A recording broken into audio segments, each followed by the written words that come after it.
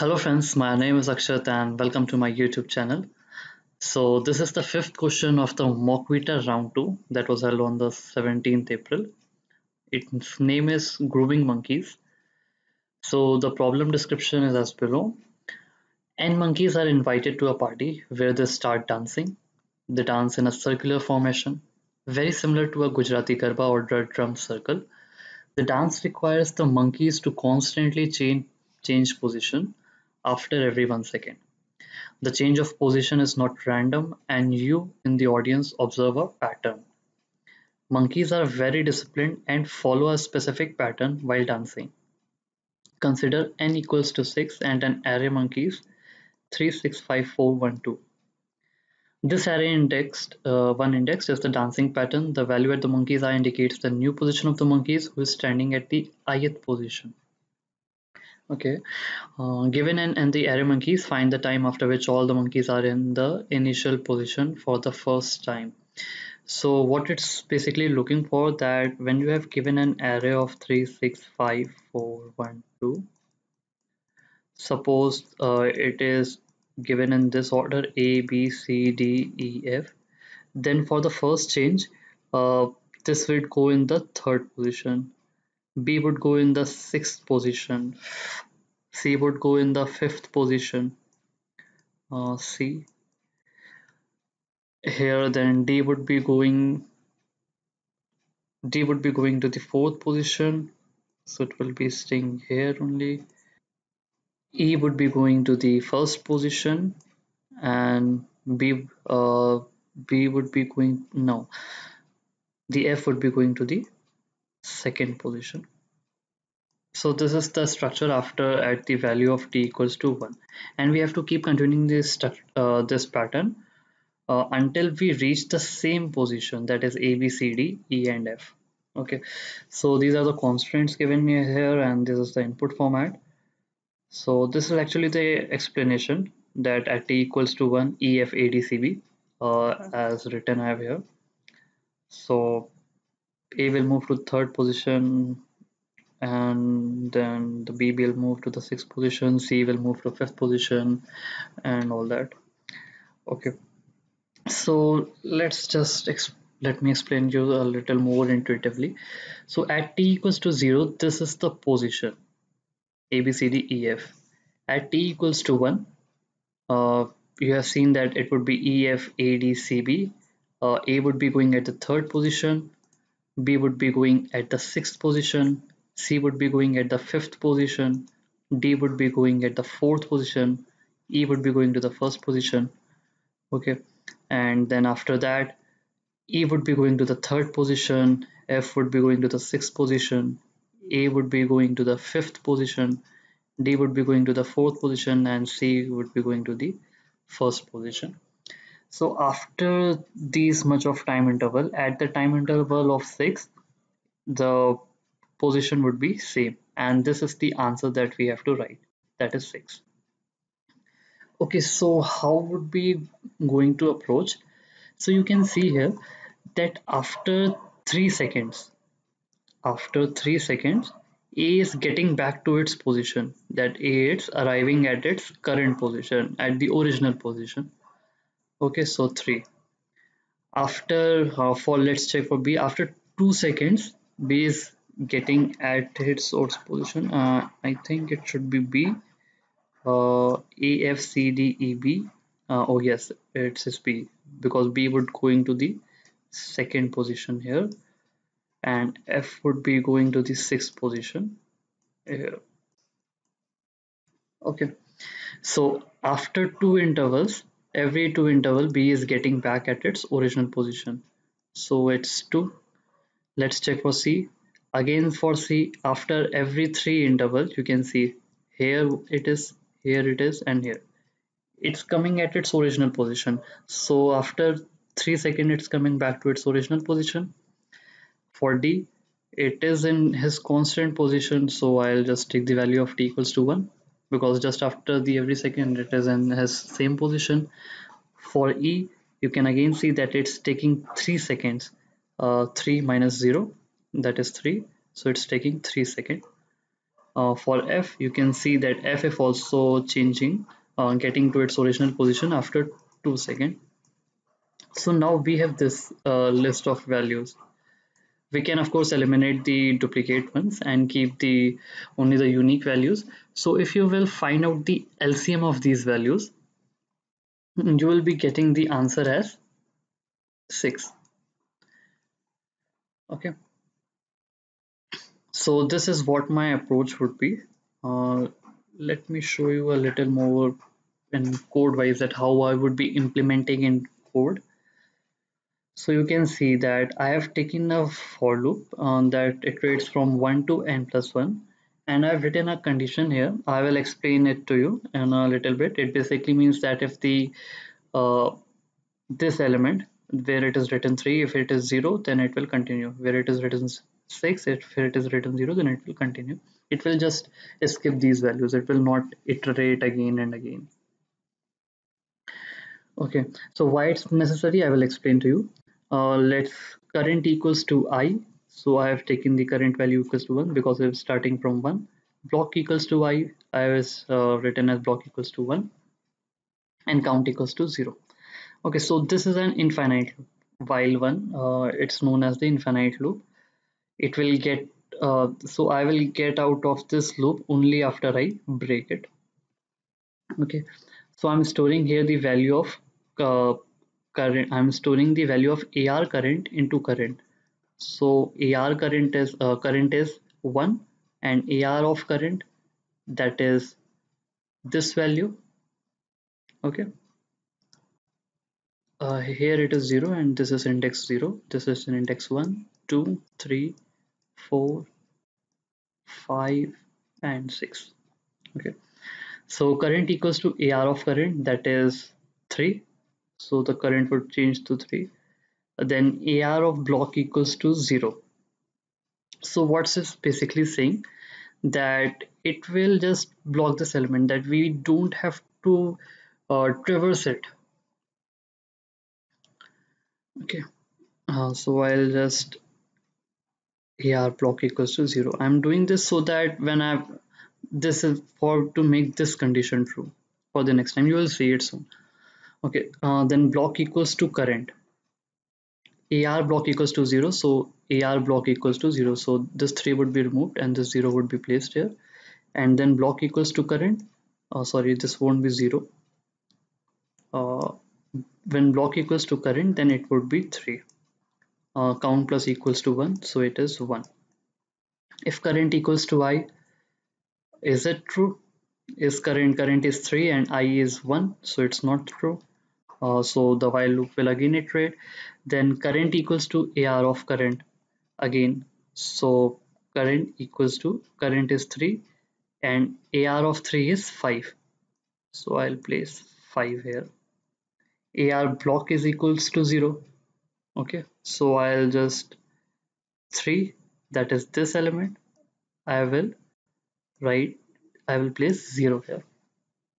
Okay so block equals to current so the value of block changes to 5 and count plus equals to 1 so count is 2 then again this uh, while loop will iterate and current equals to AR of current uh, this current equals to AR of current. So I will go to the fifth index of this array value and I can see there it is written 1. So current equals to 1. AR block equals to 0. So I'll just again store the value of 0 in this. Block equals to current. So block equals to 1. Count plus equals to 1. So count is 3 if current equals to i is current equals to i yes now it is equals to i then i will simply break it and this will get me out of the loop this is a set basically. I have considered dance uh, uh, data type to be as set. And you know that in set only the unique elements are placed. Uh, duplicates element are not stored in it. So i've stored the value 3 first. Then I'll again loop it for i equals to 2 so now the value of i equals to 2 let me erase this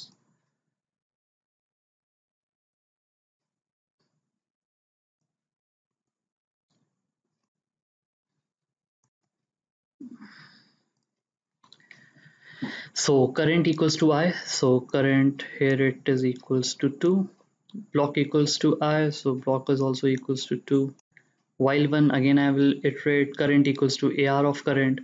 AR of current as it is 2 uh, so current would be changed to 6 AR block equals to 0 so this would be 0 block equals to current so block would be equals to 6 count plus equals to 1 count is equals to 1 now is current equals to i no it is not so it will iterate again current equals to ar of current so 6 it is now 2 so current equals to 2 ar block equals to 0 so it is 0 now block equals to current it is then 2 block equals to current true uh, count plus equals to 1 2 if current equals to i what is value of i 2 this equal it will break. And then out of the uh, loop it will get inserted into this. Okay. So now I will iterate again through the for the value of 3 if ARI equals to 0 see now you don't have to check again the count for this. Because when you check AR of I then it is already 0 so this means uh, so this means that you don't have to check for it because uh, the step count for this it has been already been added to the set. And you can also see here see for this 3 5 okay uh, okay just wait a minute. I'll just complete this loop then I'll tell you one thing. Uh, okay so it will get continue so now the i value would be 4 uh, let me again rub it okay sorry not this one.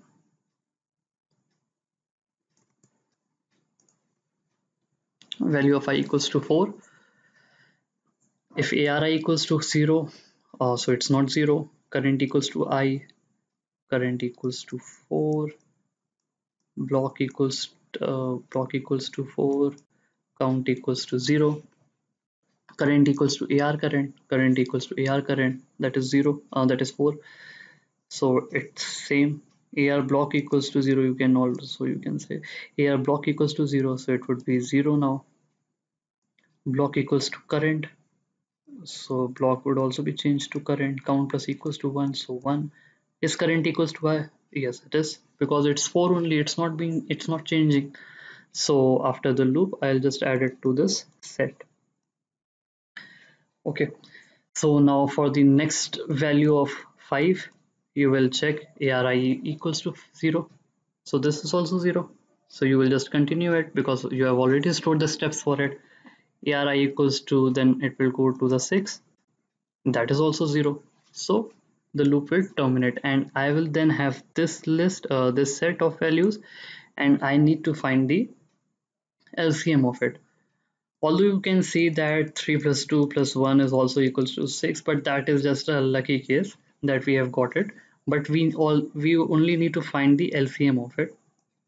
3 2 1 uh, if you know the LCM 3 1 2 1 2 1 1 1 so it will fetch me value of 6 why addition won't work.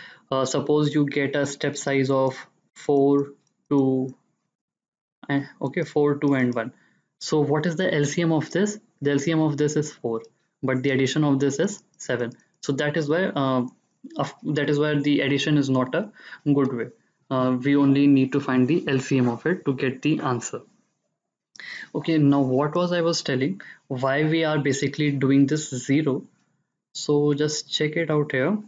Let's see for the value of a a c and a c and e you can see here that they are that they are in the same pattern. They are changing after every three seconds. So, okay so that is why I was doing the zero so that I don't have to calculate it again. And the similar part was being done for the 6 and 2 that is for B and F because they are also changing at the time interval of 2 second only. 2 2 2 2 2 2 okay. So this is the whole algorithm or logic you can say behind it. Uh, let's check go to the code part of it. So this is basically a function where I have found the LCM uh, I have took the smallest part the large part. I've in this part I have basically calculated the GCD the greatest common divisor. Okay. Because we know the formula that the we can find out the LCM by taking uh, a into b that by taking the multiplication of two elements and then dividing it by with its GCD that will fetch me the least common multiple that is the LCM so this is the simple logic of LCM and this is the whole code. So you can I have uh, you can see I have taken the test case then the number of elements uh, then the array part and then I've inserted zeros uh, zero at the zeroth position just to get the one indexing so that it would be easier to explain and tell. And this is the whole code. And after this I'm just taking the LCM of the whole set or you can say whole list. First I'm finding out the LCM of 0 and 1 uh, like this. First I'm uh, suppose the array elements are list is 4 5 2 1 so I'm first finding out the LCM of 4 and 5 okay.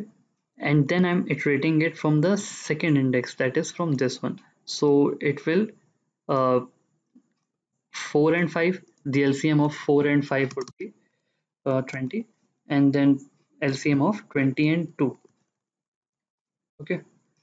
And what after that? After finding the LCM of 20 and 2 that would give me 20 again. I will find the LCM of 20 and 1 okay so the answer would be 20 and uh, so the answer would be 20 so that's all. Now let me just go through the test case as given in the example. 16365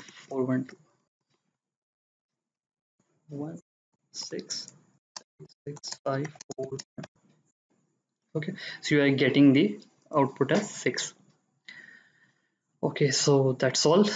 Thank you for watching this video. If you like this video please hit the like button and subscribe to my channel for more such videos. If there is any query related to the question you can place it on the comment section given below. I've also uploaded the code. You can find it in the description section. It is a github link so you can just go and open it and you'll get the whole code of it